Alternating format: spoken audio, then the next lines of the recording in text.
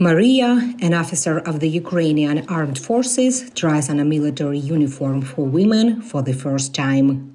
Why haven't I seen this earlier? It's just gorgeous. Maria, who did not give her surname, says this is the most comfortable coat and pair of pants she's worn since she started her military service.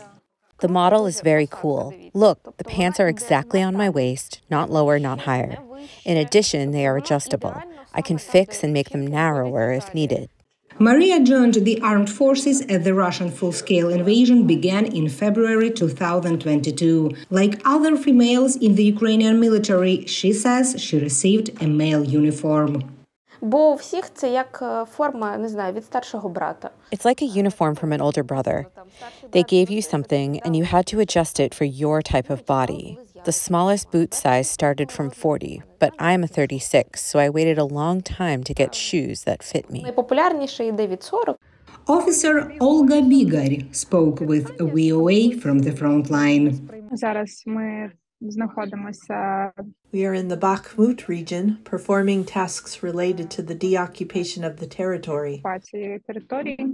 Bigar says her pants fit so poorly they often lasted just one mission.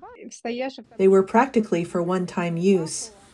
You go on some combat mission, fall down several times, and the seams are already split. Now Olga Bigar and Maria have military uniforms for women thanks to volunteers from the Ukrainian social initiative Arm Women Now.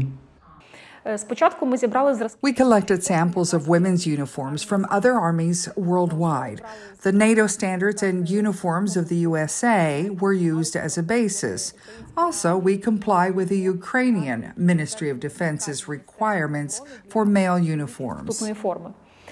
Volunteers have been making the women's uniforms for a year. Women who are serving on the front line get the uniforms for free, others pay a flat fee.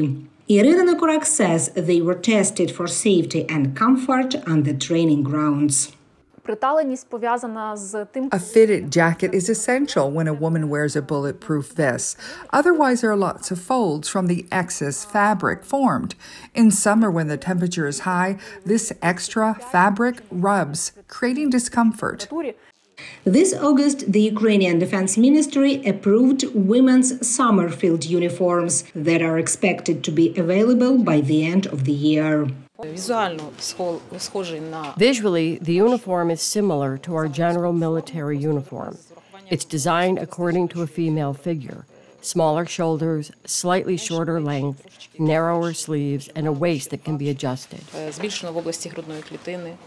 The Ukrainian Ministry of Defense says there are a total of 42,000 females in the Ukrainian military, 5,000 of them serving in the combat zone. Lesia Bakalets for VOA News, Kyiv.